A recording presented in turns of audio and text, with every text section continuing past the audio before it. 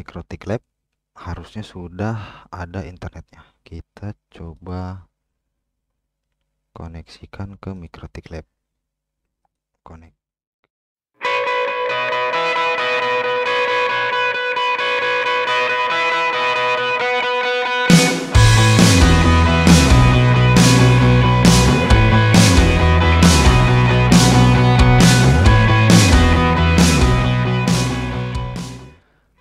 Assalamualaikum warahmatullahi wabarakatuh. Jumpa lagi dengan saya di channel catatan usang teknisi. Channel yang membahas tentang tips dan trik mengenai jaringan internet. Eh, Di video kali ini saya akan kembali berbagi tentang cara konfigurasi Mikrotik RB9412ND sebagai WiFi. Uh, Baik sebelum masuk ke cara konfigurasinya bagi teman-teman yang baru menemukan channel ini dan belum subscribe silahkan subscribe dan nyalakan lonceng notifikasinya agar teman-teman selalu mendapatkan update-update terbaru dari channel catatan usang teknisi ini.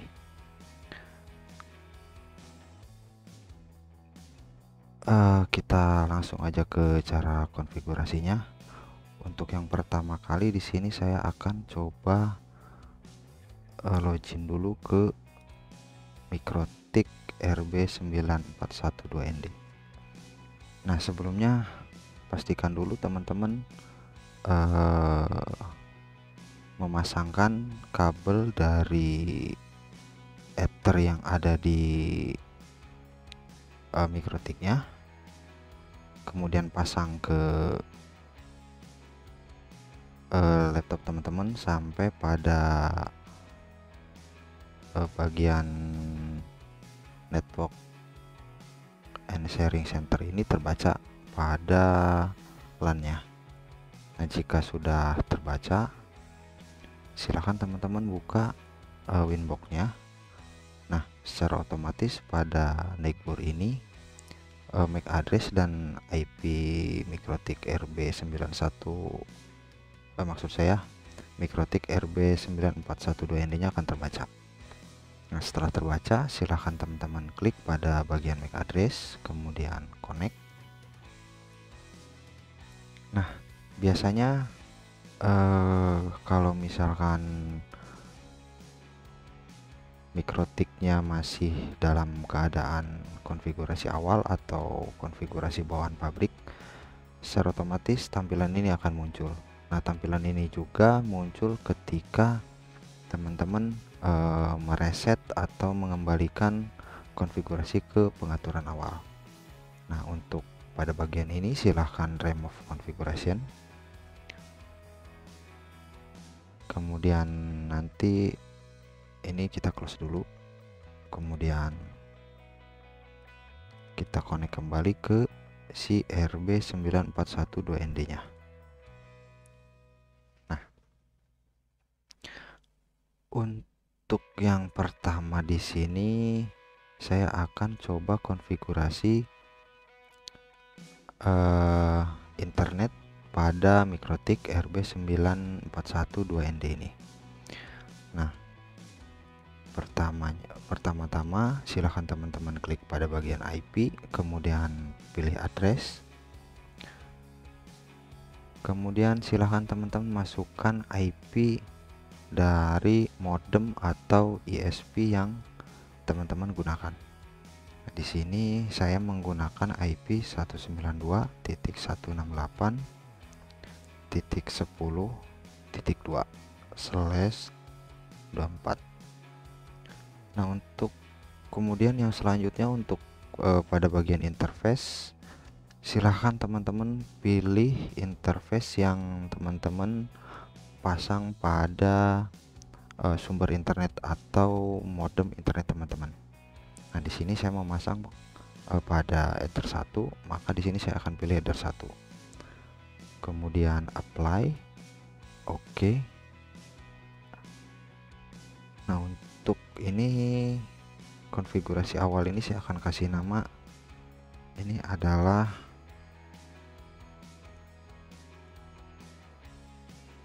sumber internet. Kemudian oke. Okay. yang selanjutnya adalah uh, pilih pada bagian IP kemudian DNS server.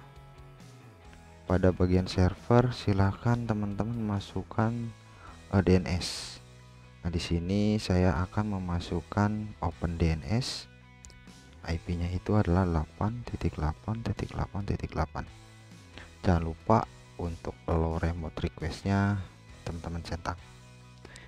Setelah selesai kita apply oke. Okay. kemudian berikutnya adalah kita setting firewall. Firewall untuk firewall itu ada pada bagian IP kemudian uh, firewall NAT oh maksud saya konfigurasi NAT ya bukan konfigurasi firewall. NAT kemudian uh, klik tab atau add. Kita langsung aja pada bagian action pilih masquerade. Apply kemudian okay. yang berikutnya untuk memasukkan internet ke uh, Mikrotik RB9412ND ini adalah kita konfigurasi pada bagian mengal eh maksud saya pada bagian root. Root kemudian add pada tab gateway. Silahkan teman-teman uh, masukkan gateway dari ISP yang teman-teman gunakan. Nah untuk gateway uh, saya adalah 192.168.10.1 apply oke. Okay. nah untuk gateway sudah saya input. Tinggal kita melakukan pengecekan pada mikrotik. Nah apakah internetnya sudah masuk? Nah untuk yang pertama di sini saya akan cek ping ke DNS oke sudah jalan. Kemudian di sini saya akan cek kembali ke uh, Facebook. Facebook.com oke sudah jalan. Selanjutnya di sini saya akan coba konfigurasi pada bagian uh, menu wireless.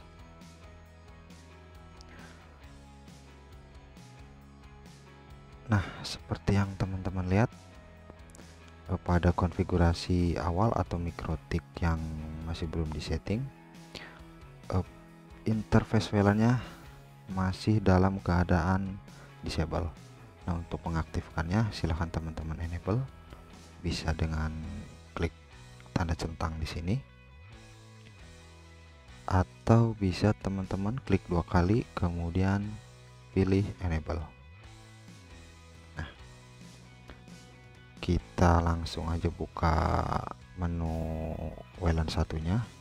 Nah untuk konfigurasi WiFi pada RB9412ND ini silahkan teman-teman pilih pada bagian wireless.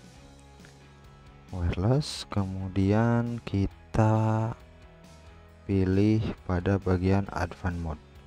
Nah, advanced mode ini biar uh, semua parameter yang ada pada tab wireless akan muncul. Untuk konfigurasi WiFi pada bagian modenya ini silahkan teman-teman pilih AP bridge. AP bridge AP bridge kemudian pada bagian bandnya silahkan teman-teman pilih uh, 2 GHz B slash G slash N. Untuk channel widthnya cukup 20 pada bagian frekuensi silahkan teman-teman pilih uh, sesuai yang teman-teman inginkan.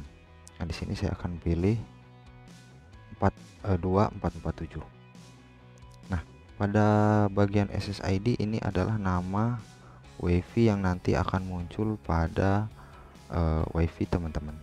Nah di sini saya akan kasih nama Mikrotik Lab.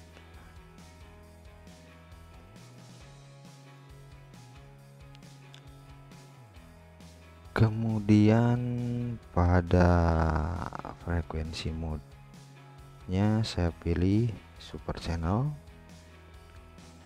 Kemudian apply. Dan oke. Okay. nah eh, sebetulnya pada sampai di sini eh, sebentar ada gangguan sedikit.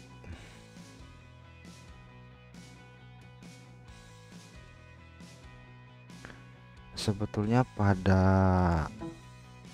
konfigurasi sampai sini itu si mikrotiknya sudah memancarkan sinyal. Nah mikrotik lab namun belum bisa kita gunakan untuk internet. Nah ini wifi yang connect ke hotspot yang ada di rumah. Nah tadi SSID yang kita buat itu adalah mikrotik lab.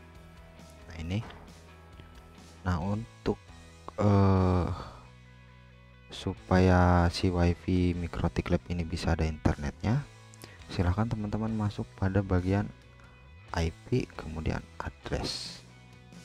Kita close dulu. Kemudian silahkan teman-teman pilih tab atau add pilih pada bagian untuk interface ini.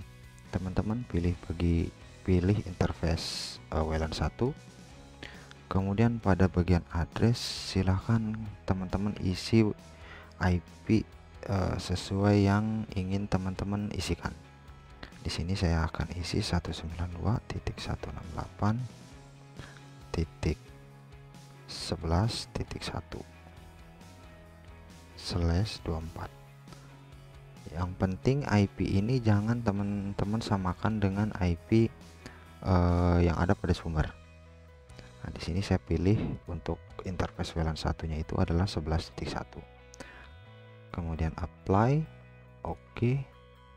Saya akan coba kasih nama kembali. Di sini adalah wifi lab.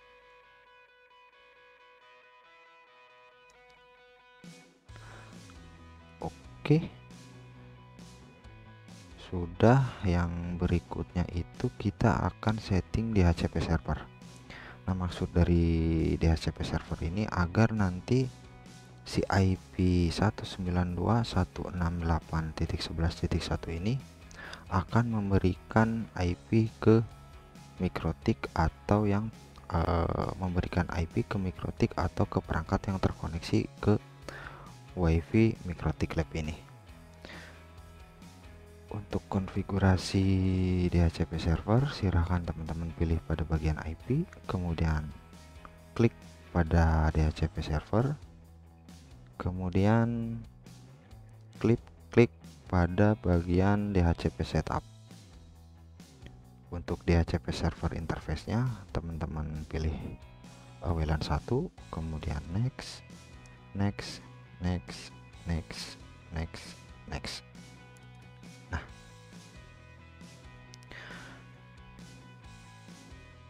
sampai sini seharusnya kalau kita coba koneksikan komputer ini ke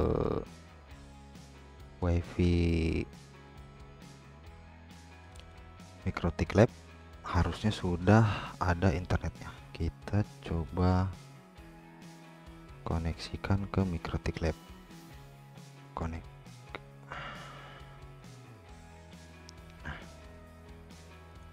kita coba tes.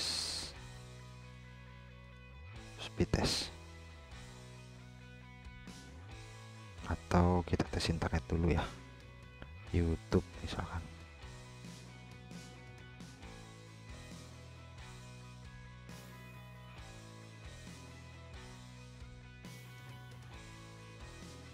Nah internet sudah bisa kita gunakan melalui eh, uh, SSID Mikrotik Lab atau WiFi dari RB9412ND. Nah, namun di sini belum kita belum saya kasih password. Nah, yang berikutnya agar uh, WiFi Mikrotik Lab atau wifi mikrotik rb9412nd ini ada passwordnya. Di sini saya akan kasih password. Nah untuk kasih passwordnya itu silahkan teman-teman klik pada tab uh, wireless. Kemudian pilih security profile. Silahkan add. Untuk uh, nama di sini saya kasih nama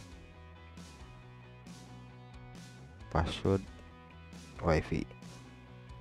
Kemudian untuk modenya di sini saya kasih mode dynamic key. Untuk ini silahkan teman-teman centang. Nah untuk password silahkan teman-teman isi sesuai password yang ingin teman-teman isi. Nah, di sini saya akan isi misalkan 12345 kemudian yang bawahnya juga 1 2 3 4 5 apply.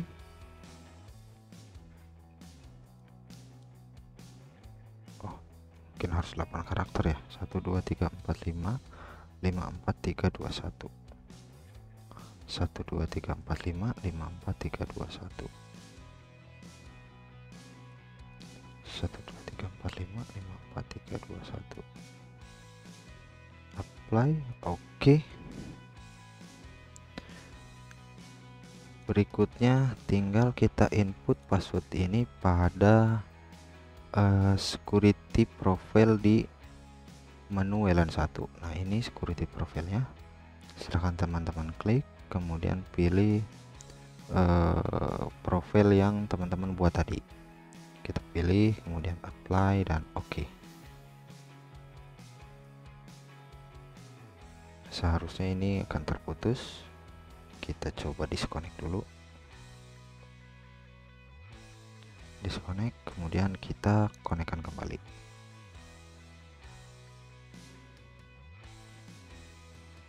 Nah secara otomatis uh, wifi mikrotiknya sudah ada passwordnya tinggal kita masukkan password yang sudah kita buat tadi.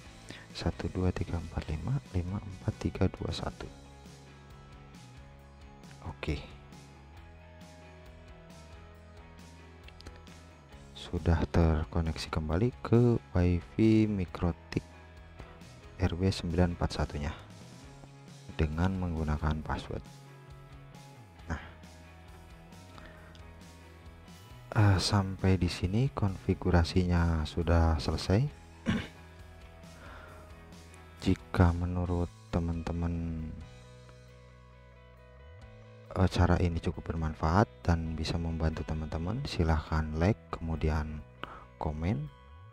Jangan lupa share ke media sosial teman-teman agar teman-teman kalian mengetahui apa yang kalian ketahui uh, sampai jumpa di video berikutnya. Akhirul kalam. Assalamualaikum warahmatullahi wabarakatuh